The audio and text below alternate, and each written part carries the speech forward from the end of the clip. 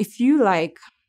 new challenges, uh, if you like uh, to see new places, work with different different cultures, uh, considering uh, coming into aviation and being a pilot, we give you that opportunity.